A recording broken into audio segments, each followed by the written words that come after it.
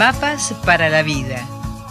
Virginia Gawel, licenciada en psicología, directora del Centro Transpersonal de Buenos Aires, te brinda herramientas para tu desarrollo cotidiano.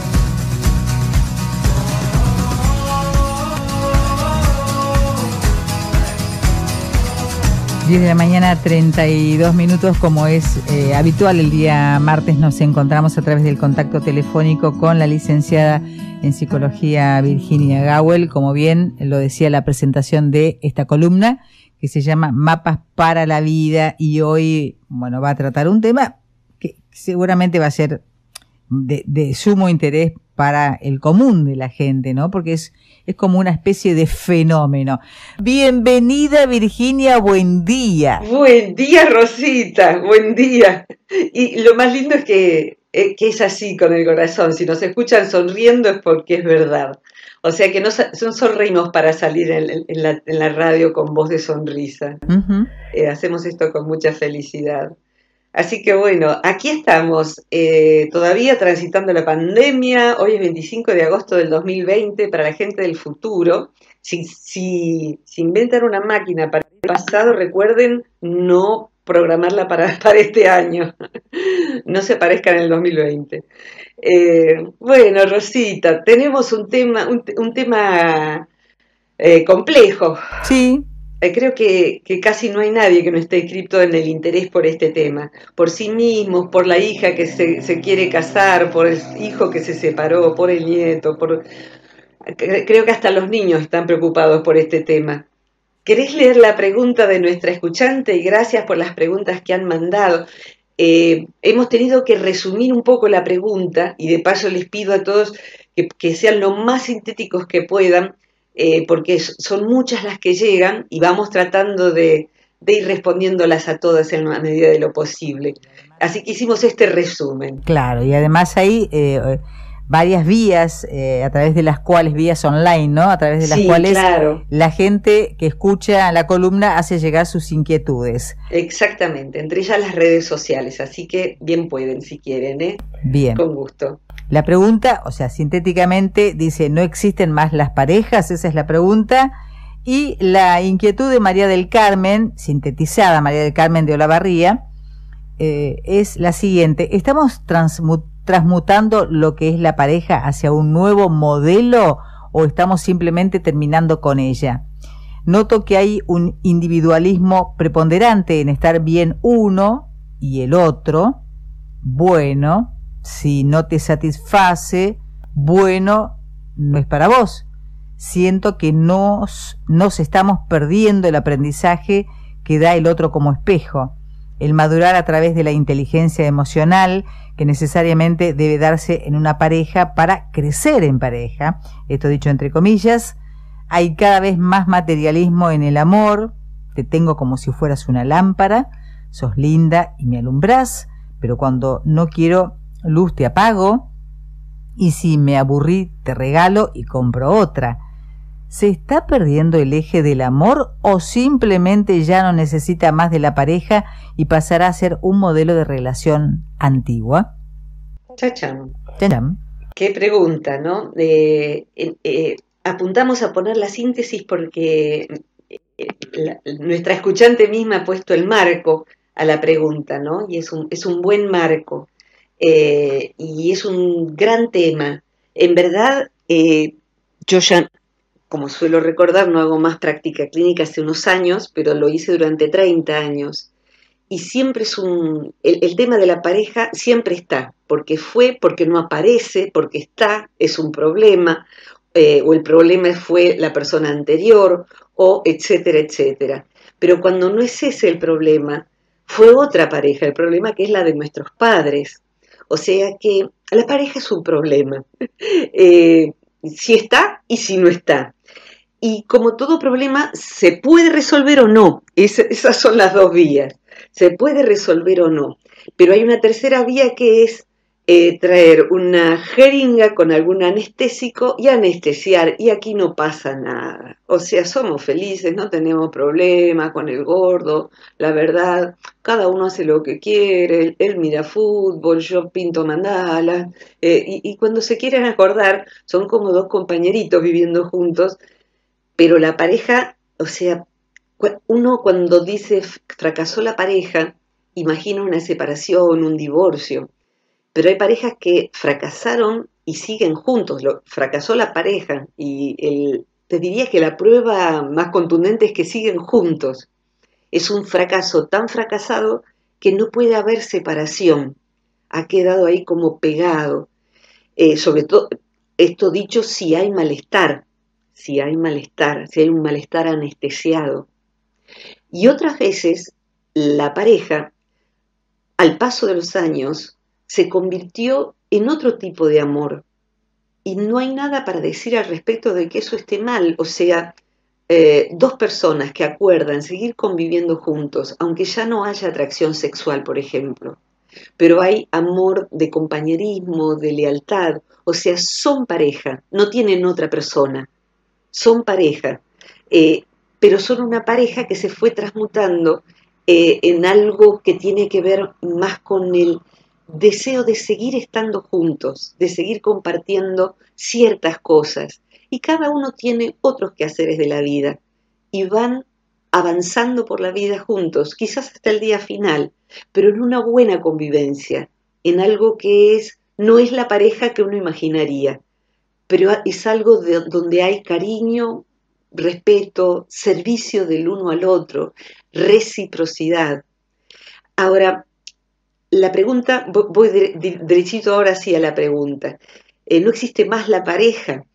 En verdad, lo que, lo que no existe más, eh, a ver, nuestra cultura, ni, ni hace falta que lo diga, pero para ponerlo en contexto, ha tomado un cambio muy importante, particularmente desde los años 60 para acá. O sea, el mundo fue cambiando muy raudamente desde los años 60 para acá. Eh, o sea, si se quiere, desde los Beatles, los hippies, Vietnam, etcétera, más o menos desde allí para acá, ha habido cambios muy trascendentes a nivel de la, sociedad.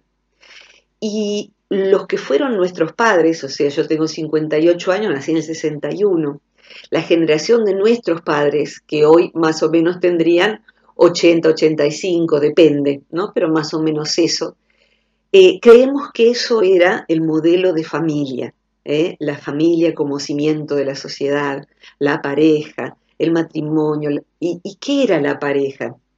Entonces, esto de que no existe más la pareja, eh, esa estabilidad que tenía el matrimonio. en verdad lo que está pasando son por lo menos dos cosas. Una es que en toda situación social, cuando funciona en forma pendular, cuando el péndulo estuvo muy, muy eh, atrapado en un extremo, imagínense realmente un péndulo, algo que pende. Yo tenía para hacer hipnosis clínica una piedrita de toda facetada y era mi péndulo. Entonces, bueno, del hilito uno toma el péndulo y lo lleva bien a la derecha. Por lógica, cuando lo suelta, va a ir a su opuesto. Eh, los movimientos sociales en algunos aspectos se dan exactamente así. O sea que de la represión franquista, por decir en España, surge el destape. ¿eh? Entonces, muchas cosas que fueron tapadas, al salir a la luz, se ven.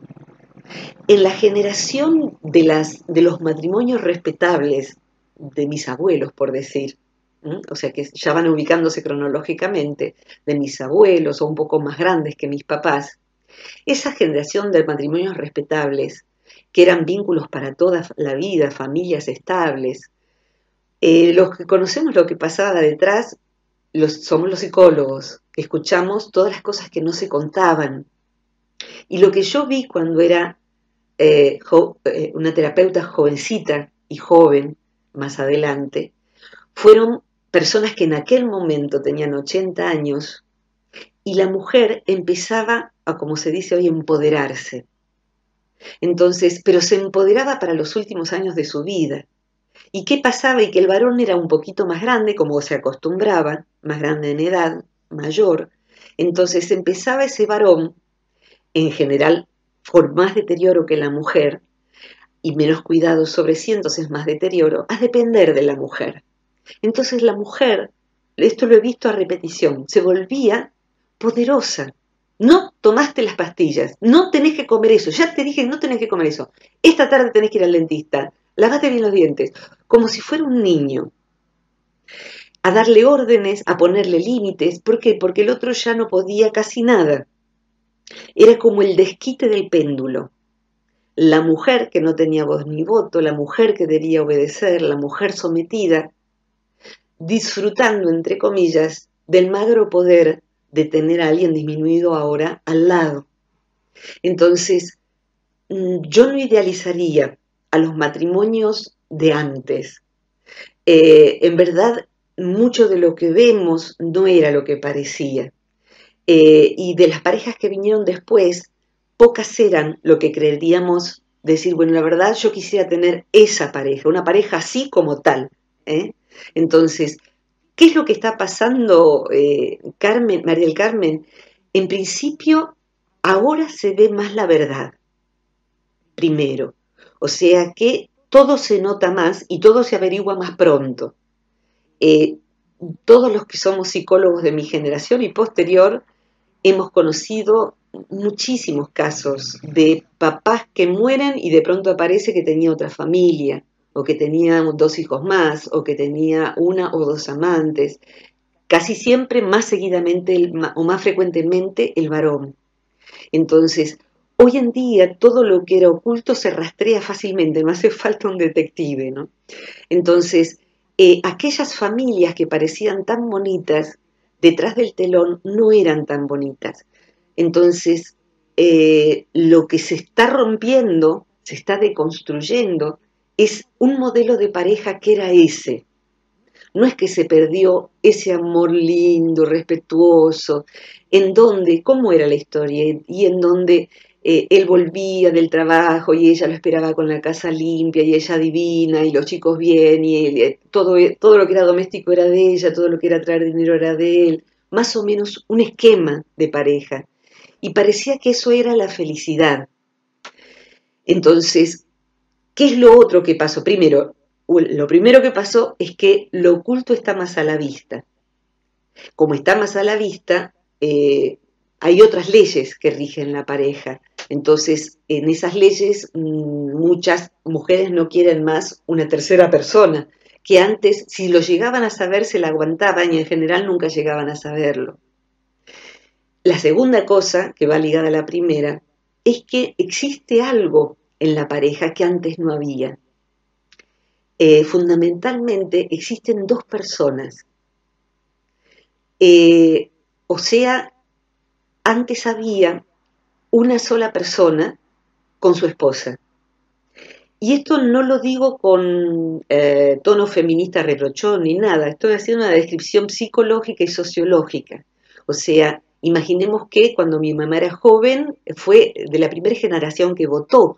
O sea, mi abuela no era un mueble o un animal que no tenía voz ni voto, literalmente. No votaba porque y porque no pensaba, si era una mujer. Entonces, de ahí surgió la generación de mi mamá y esos matrimonios, en donde no había dos personas, había un señor y una mujer que servía a ese señor y a lo mejor además trabajaba y se ocupaba de los hijos y de esto y lo otro. Pero recién para los años 70 y algo, 80 eh, y algo, depende del país, 90 y algo, depende de la región del país, empezaron a tener, a estar en pie de igualdad el hombre y la mujer. O sea, ¿qué hay hoy? Dos personas en una pareja.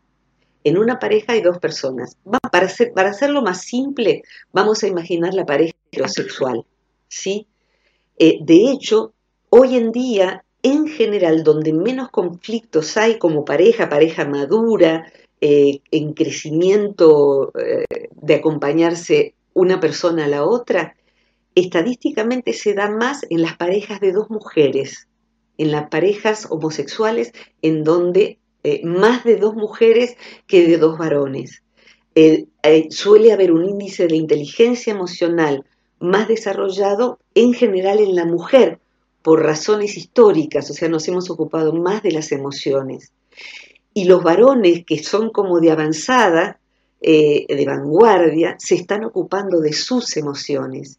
Y algunos de ellos logran tener pareja con otro varón que sea estable, de buenos compañeros, que sea una pareja donde crecen juntos, piensan juntos, donde no hay eh, sometimiento psicológico alguno. Entonces, eh, el punto es que eh, la, elección del género no siempre se puede decidir, sencillamente hay o no atracción. Pero muchas mujeres de mi edad, es, es una cosa que he escuchado a repetición, ¿cómo me gustaría ser gay?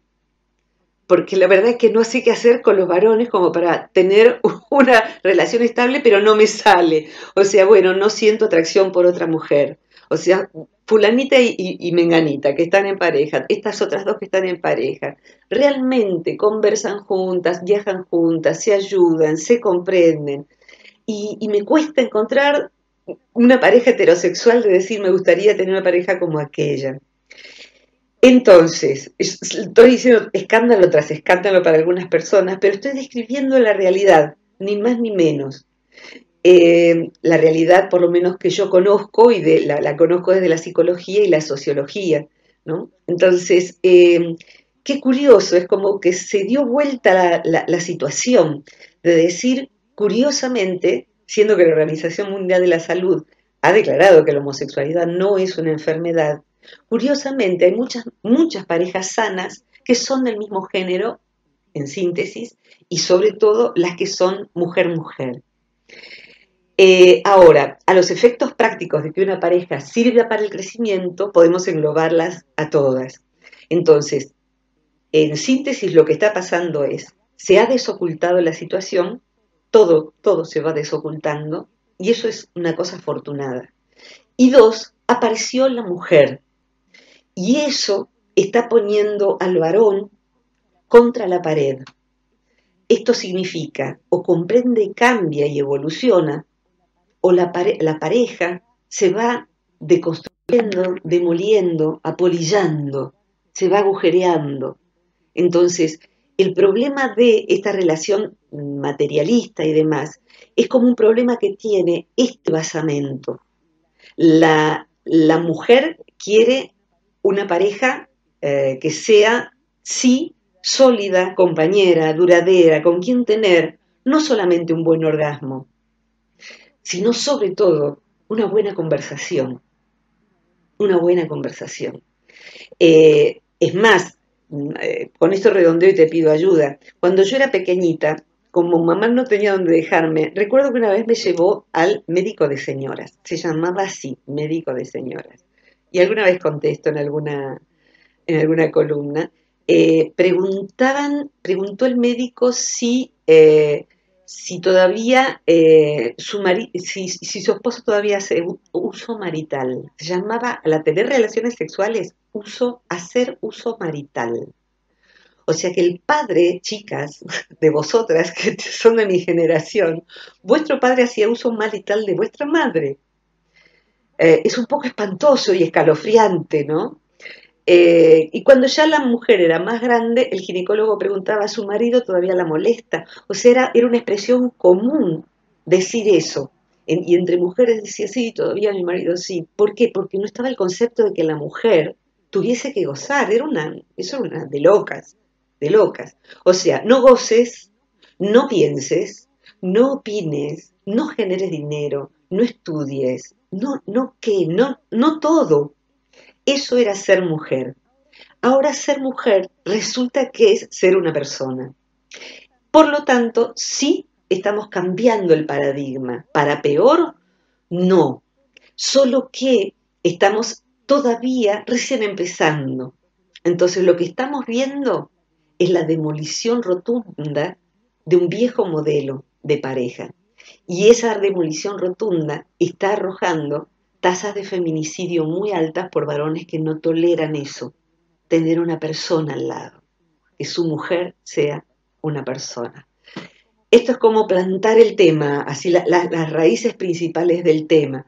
Y después vamos a esto de, del materialismo y la, inconstancia y demás. Rosita, ¿querés ayudarme con algo, por favor? Eh, pensando en todo lo que venís diciendo y escuchándote atentamente, o sea, es que ligo, o sea, así, de forma espontánea, al tema anterior que se había tratado en la columna, que es el hecho de pensar diferente. Sí, sí, es cierto. Bueno, y me surge el, eh, la inquietud en la cuestión de, de la pareja, ¿no? ¿Es temor al compromiso o temor al fracaso? Número uno.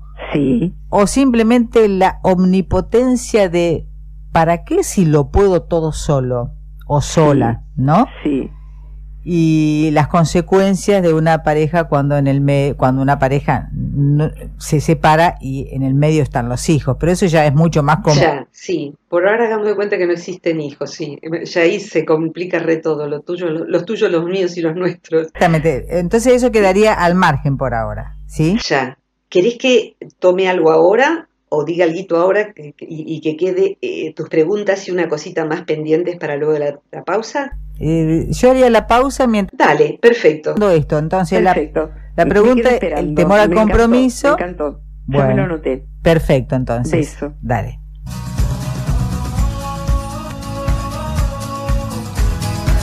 Retomamos el contacto con Virginia Gawel, directora del Centro Transpersonal de Buenos Aires. Ella es licenciada en psicología, hoy hablando del tema de las parejas. ¿Qué pasa hoy con la pareja? ¿No existe más? Eh, existe, existe. Para que nadie se asuste, existen y existen parejas heterosexuales eh, hermosas también. ¿Y qué característica tienen las, las parejas que sí existen y existen bien, no por mera existencia y para no andar solo? En verdad eh, existen porque se han elegido no desde el miedo. O sea, el, el, amor inestable nace del miedo, básicamente del miedo a la soledad. Entonces, en general, las parejas que funcionan bien emergen de personas que han trabajado sobre sí, siguen trabajando, y que tienen la experiencia de que si se quedan solos no mueren, no, no me muero si me quedo sola. Entonces, y hay un trabajo sobre sí que quiere decir que uno observa sus emociones, las va modificando, pero no para adaptarse al otro, sino porque es necesario llegar a desarrollar lo, mejor que uno pueda, la, la, mejor naturaleza de sí mismo. Entonces, no solo porque al otro le molesta que yo sea así o asá, sino porque yo, si viviera sola, igual trabajaría con este rasgo. Entonces, lo que va pasando, eh, vos preguntabas recién esto tan importante, si es miedo al compromiso o al fracaso. En verdad, eh, son varias cosas que hacen que no se generen las parejas. Primero, antes era más fácil, o sea que más fácil en el sentido de que éramos menos cantidad de personas en el mundo, entonces, de algún modo, alguien se ponía de novio con alguien de su barrio o de su, comunidad, polacos con polacos, armenios con armenios, amigos de las familias, eh, en el club, en el baile del club. Era más sencillo todo y bastaban menos cosas para decir esto es una pareja.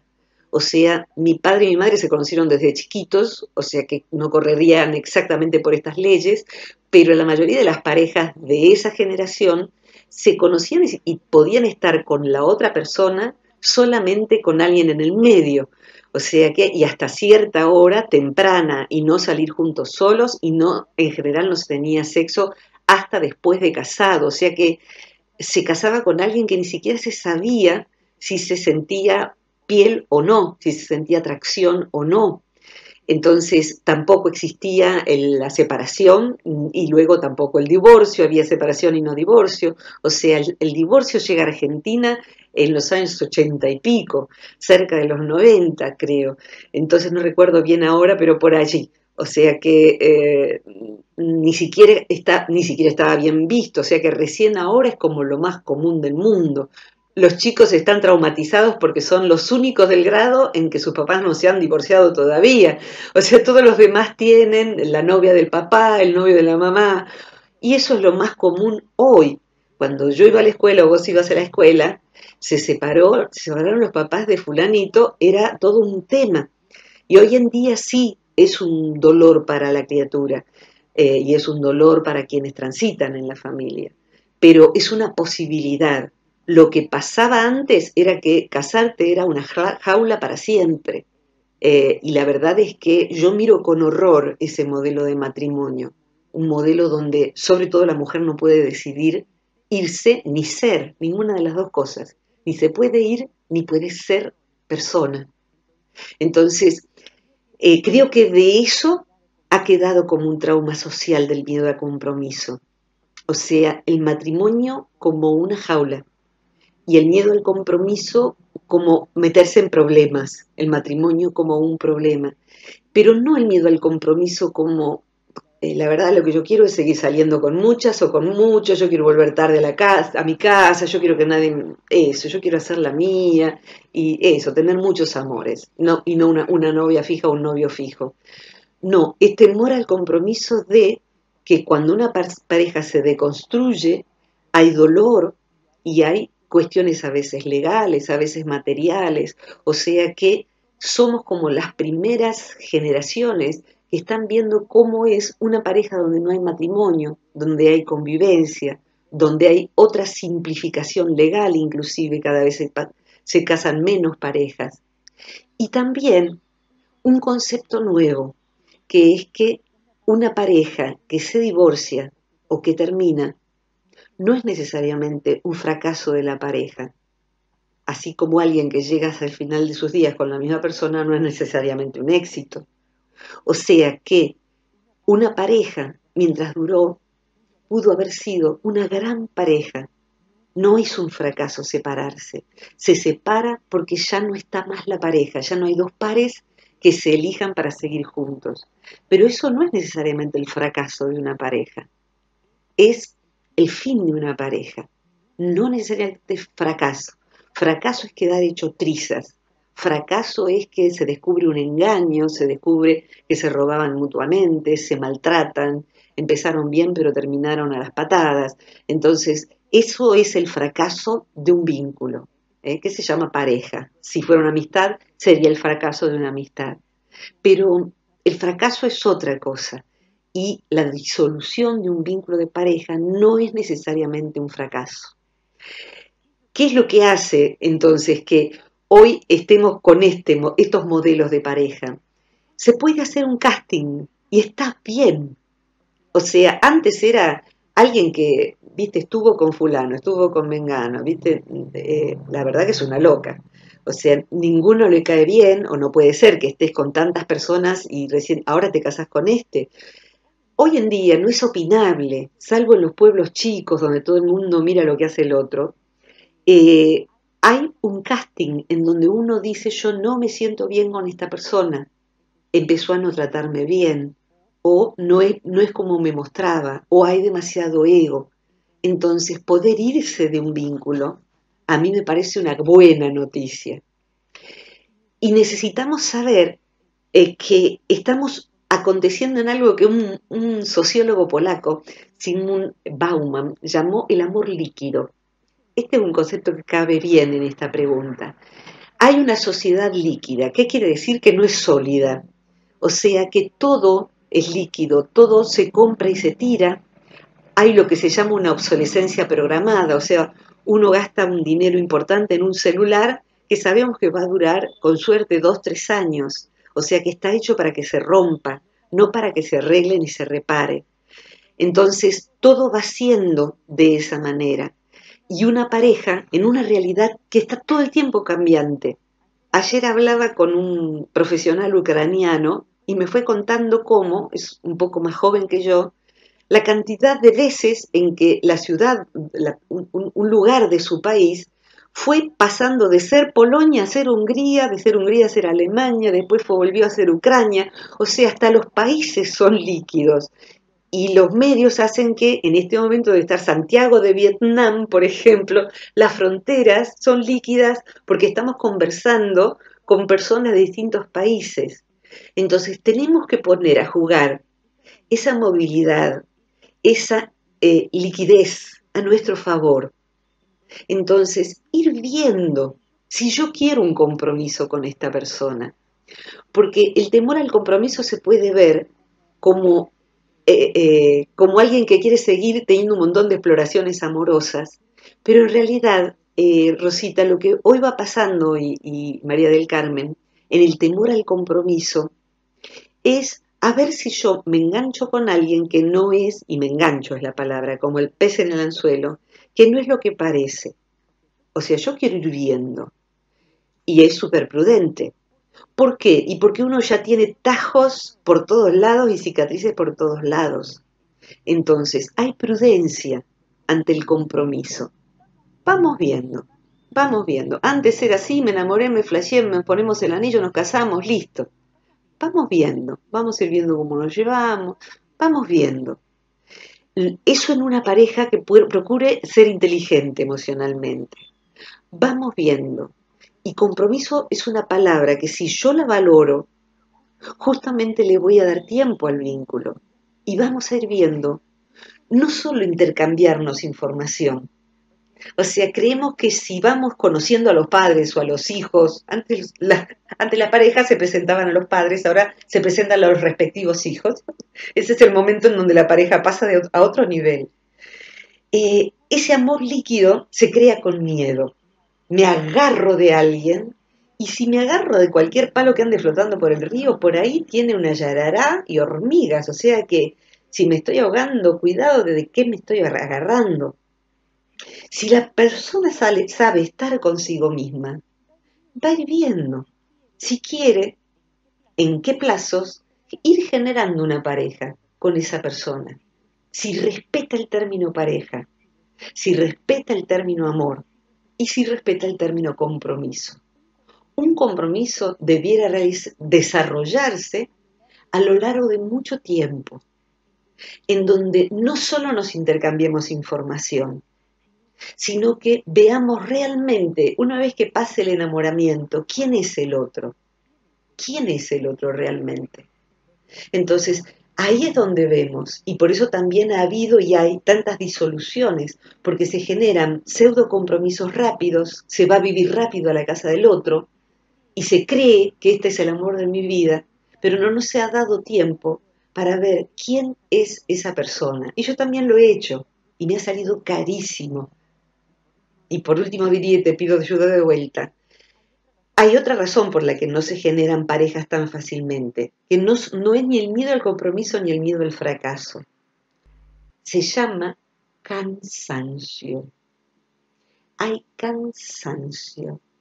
Entonces vamos a escuchar mucha gente que todavía está en perfectas condiciones de decir, bueno, doy para dos matrimonios más, por ejemplo, y decir, no, otra vez averiguar qué le gusta comer y, ver si es, después termina no siendo. O sea, después de varios, ahí sí, intentos fracasados de mucho Tinder, mucho match y mucho happen, y después que no happen nada, o sea, de ver que la persona no es el perfil que armó para la red social donde se consiguen parejas, hay un momento en donde hay un cansancio brutal y se llega a una conclusión. Hay una frase que no tiene autor, y con esto más o menos redondeo eh, para, que me ayudes.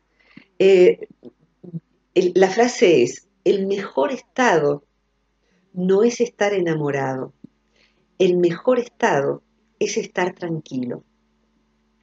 O sea que hay un momento en donde los sacudones del enamoramiento hacen que se esté cansado, y se espere a que haya algo realmente que valga la pena todo ese esfuerzo, que no hay ganas de hacer, no hay ganas de hacer. Entonces, en ese momento hay más posibilidad de que se elija con criterio, que se elija una buena compañera, un buen compañero, y en esa base construir el amor. Eh, para consuelo de María del Carmen, como la realidad está hecha también de qué elegimos mirar de esa realidad. Eh, a mí me parece muy buena noticia que es la primera vez, y esto lo he dicho muchas veces, en la historia de la humanidad, en que la pareja existe. O sea que no existía por qué, porque no había dos personas, había un señor con su esposa, que era además Eugenia Tonsky de Gawel. Mamá, ni bien enviudó, sacó el de Gawel. Empezó a ser, empezó a ser mucho más ella misma, con todo respeto, papá, donde sea que estés escuchando. Fuiste lo mejor para mamá. Pero mamá sin papá, que nosotros pensábamos que iba a morir, no, se casó con Eugenia, se casó consigo misma y empezó a sacarse a pasear y empezó a llevarse a cenar y empezó a llevarse a tener nuevos amigos y cursos y todo eso. Eh, y la verdad es que ella está tan a gusto conviviendo con Eugenia que no precisa nada más, más allá de la edad. Estoy segura de que si fuera 20 años más joven, también pensaría muy bien si quiere estar o no con otra pareja y empezar todo eso de nuevo, si tiene ganas. Entonces, hoy en día las parejas son de dos personas, por eso es más difícil congeniar, porque no hay una sobreadaptación. Y lo que parecía una buena pareja antes tenía mucho de ficticio, demasiado. Y las consecuencias las estamos pagando. Las parejas que hoy funcionan la tuya con mi hermano, por ejemplo, me encantan, me encantan. Y tienen ya su buena cantidad de años juntos. Entonces, ¿y qué hay ahí? Trabajo. Trabajo, trabajo, trabajo, de ir viendo las emociones de cualquier pareja, ir viendo las emociones, con, eh, conversando y tratando de, lograr una... Perdón, estoy confundiendo por algo que quiero compartir. Eh, una, eh, un conocimiento, una comprensión recíproca, una comprensión recíproca. Cerraría con esto. ¿Te acuerdas que cuando íbamos a la secundaria se hizo famoso alguien argentino que escribió un único libro, Antonio Porquia? Antonio Porquia escribió voces, eran frases, nada más que frases. Y esas frases, esos pensamientos de Porquia, se vendían en aquel entonces en las disquerías y se hacían pequeños banderines o postales que todos nosotros pegábamos en nuestras paredes. Eh, entonces, bueno, lo que sería un post en aquel momento era literal, era de, en, el, reino de las tres dimensiones, era de papel, de cartón o de tela. Y encontré una frase, pensando en la, en, la pregunta de Miriam, ¿qué, ¿qué decía Porquia sobre el amor? Y tomo esta, la voy a decir dos veces. Sabes tanto de mí y no me comprendes. Saber no es comprender. Podríamos saberlo todo y no comprender nada. Hay parejas que hace tanto que están juntos, que creen que ya comprenden al otro. Pero el otro también es líquido, cambia, y yo también soy líquida, cambio. Entonces, darme por comprendida porque sabés qué, qué, cosas me gustaban comer, porque sabés que a tal edad me pasó tal cosa, porque sabés cómo era mi papá, darme por sabida es un gran error. Darlo por no comprendido al otro y seguir preguntándole y seguir escuchando y que nos pregunte y que nos escuche, eso da pie a lo que se llama el amor consciente. Si quieren luego busquen, Miriam y, quienes se interesan en este tema, si, buscan eh, en las columnas, ponen mi nombre y apellido y amor consciente, van a encontrar columnas anteriores que hemos hecho con Rosita sobre el amor consciente, que son las parejas que sí funcionan como espejo de crecimiento. Y las hay por primera vez en la historia de la humanidad. Nunca antes hubo parejas, nunca. Salvo escasos casos. Rosita, ¿redondeamos? Sí, me, tiraste un concepto que yo lo venía preparando. A ver, a ver. Me quedó caído en el piso. Me preguntaba si uno podía ser sólido en una sociedad líquida. Está buenísimo. Eh, la verdad es que es muy buena. Mira, hay dos solideces. Eh, hay una solidez que es patética y nos vuelve la vida muy sufriente, para nosotros y los demás, que es la solidez del ego, que no cambia nunca. Entonces es una cosa así, es mi mujer, por ejemplo, ¿no? Una pareja es esto. Eh, o sea, que pienso por este equipo de fútbol igual que por este partido. Entonces la persona, aunque su partido político haga las corrupciones peores, sigue siendo de ese partido. ¿Por qué? Y porque su identidad es el ego de donde tomó identidad. Entonces, una pareja, eh, ese es un modo de ser sólido en una sociedad líquida, no cambiar, y eso es patético. Necesitamos cambiar y ser flexibles en una sociedad líquida, y lo otro sólido que hay es lo que puede hacer una pareja, y es un muy buen punto de cierre. Las parejas que sí funcionan se, abrazan, se toman el uno al otro desde algo sólido, que no depende de lo líquido. ¿Qué es lo que no muere? Aquello que parte cuando acompañamos a alguien a morir, la vida con mayúscula. Alguien le quiere llamar el alma, alguien le quiere llamar el ser, el sí mismo, la esencia. Cuando estamos unidos al otro de esencia a esencia, eso supera todos los avatares. Y sí, las parejas que son excepción, que han existido antes, han sido unidas por eso. Que no es la película Casablanca y todas esas parejas y novelas de amorisquerías. Eso es enamoramiento, eso se pudre, ni bien lo desfrizás. O sea que es, eh, nos han enseñado que el amor era eso y la verdad es que nos intoxicó la cabeza. Eso no es amor ni, ni nada de esas películas que hemos visto nos han confundido. El amor de esencia esencia es algo de enorme profundidad. Lo cerraría diciendo esto, mira, es algo muy extremo esto que voy a decir, pero por extremo quizás pueda ayudarme a, describir lo que quiero. Eh, hay un matrimonio, ella, ella se siguió llamando con el apellido de él, posiblemente por elección. Eh, ya ninguno de los dos vive, Stephen and Andrea Levine se escribe Levine. Ellos eh, se dedicaron a estudiar el acompañamiento en el, en el buen morir y trabajar juntos. Los dos eran psicólogos. Los dos, siendo mayores, enfermaron de una enfermedad larga que iba a llevar a la muerte.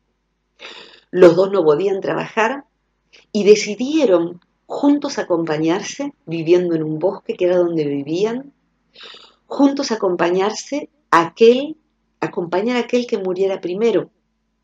Y les ayudaban amigos que eran del palo como yo, eran también psicólogos.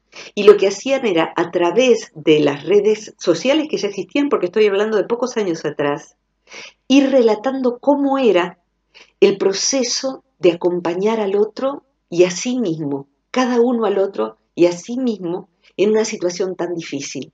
Cómo hacían con el amor entre sí y los amigos les iban sosteniendo económicamente los tratamientos y la vida cotidiana.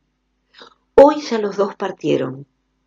Cumplieron con ese propósito y los amigos acompañaron al que quedó solo.